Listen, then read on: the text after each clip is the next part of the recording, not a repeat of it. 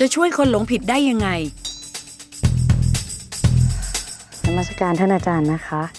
คำถามจากคุณผู้ชมทางบ้านอันนี้เป็นเกี่ยวกับครอบครัวค่ะ เขาน่าจะเป็นห่วงคนในครอบครัวที่อาจจะเคยเดินทางผิดหลงผิด และพอชวนร่วมกิจกรรมกับที่บ้าน ก็รู้สึกอึดอัดไม่มีใครแบบเขาไม่อยากร่วมกิจกรรมกับที่บ้าน คนที่ถามมารู้สึกว่าแล้วเขาควรจะทำยังไง ไปดูแลคนคนนั้นในบ้านอย่างไร ให้กลับมามีชีวิตได้เหมือนเดิมอะค่ะ คือมี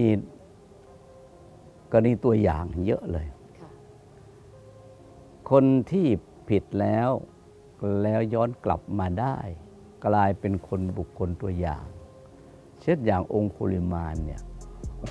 ชั่วจนไม่มีใครในโลกนี้จะให้อภัยได้ แต่เมื่อเจอคำสอนของพระพุทธเจ้าเพียงประโยคเดียวว่าเราหยุดแล้ว ท่านสิยังไม่หยุดมันเปลี่ยนพฤติกรรมกลายเป็นพระงานเลย ผู้ที่อยู่กันในบ้าน ต้องยอมรับว่าสิ่งที่เกิดขึ้นในเงื่อนไขที่เราเป็นเราอยู่กันเนี่ยบางทีมันซ้ำๆย้ำๆกันไป จนที่สุดหาความสดชื่นไม่ได้นั้นสิ่งที่น่าทำที่เราควรจะถือว่าเป็นนิสัยกัน ก็คือถ้าวัฒนธรรมเดิมเจ็ดวันเขาไปวัดครั้งหนึ่งวัฒนธรรมธรรมเดิม เขาหาเวลาไปพบญาติพบพี่พบน้อง วัฒนธรรมเดิม เขามีประเพณีอะไรที่ทำให้คน เขาได้คิดที่รู้สึกว่ามีอะไรมามาเพิ่มวิธีคิดนั้นสิ่งที่จะช่วยได้จริง ๆ ก็คือต้องเริ่มหากัลยาณมิตร แค่เราไปเปลี่ยนสถานที่แล้วไปดูไปเห็นบางเรื่องมาเนี่ย มันทำให้เราเปลี่ยนนะ สิ่งสำคัญที่สุดในชีวิตมนุษย์เนี่ยก็คือความคิด ถ้าความคิดเปลี่ยนชีวิตจะเปลี่ยน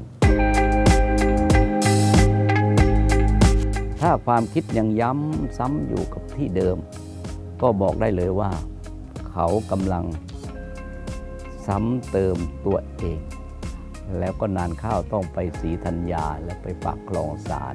ค่ะแล้วทีเนี้ยคนในบ้านจะทำยังไงให้เขาหยุดซ้ำเติมตัวเองคะพระอาจารย์ คนในบ้าน ก็ต้องตั้งสติให้ดี บางครั้งการไปย้ำไปซ้ำเขาเนี่ยเหมือนกับว่าเขากลายเป็นคนที่มีแต่ความชั่วมีแต่ความทุกข์นั้นวิธีการก็คือ ชวนคนอื่นไม่ต้องคุยบ้าง ชวนใครมาเป็นเพื่อนเขาบ้าง หาอะไรที่เขาอยากจะมี เช่นเพื่อนเดิมๆเขาลองสืบดูว่าคนไหนเป็นเพื่อนเขาแต่อย่าให้ไปหมกอยู่กับความชั่ว เช่น อบายมุขอย่าให้ไปชั่ว ถ้าไม่ไปชั่วเขาจะ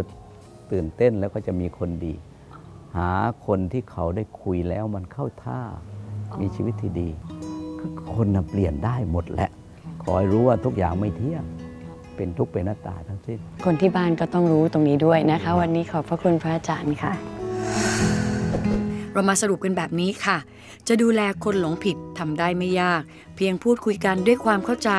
ปรับเปลี่ยนทำสิ่งใหม่ ๆ ก็ช่วยเปลี่ยนความคิด เปลี่ยนการกระทำได้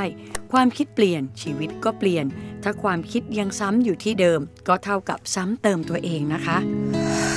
อย่าลืมนะคะ ถ้าคุณกำลังรู้สึกว่ามีทุกข์หรือว่าหนัก ๆ อยู่ในใจของคุณ แบ่งเบาความหนักมาให้พวกเราได้ค่ะทาง QR code ตรงนี้นะคะ แล้วเดี๋ยวอ้อมจะไปตามหาคำตอบจากพระอาจารย์มาให้ค่ะ อะไรที่อ้อมช่วยได้ อ้อมยินดีค่ะ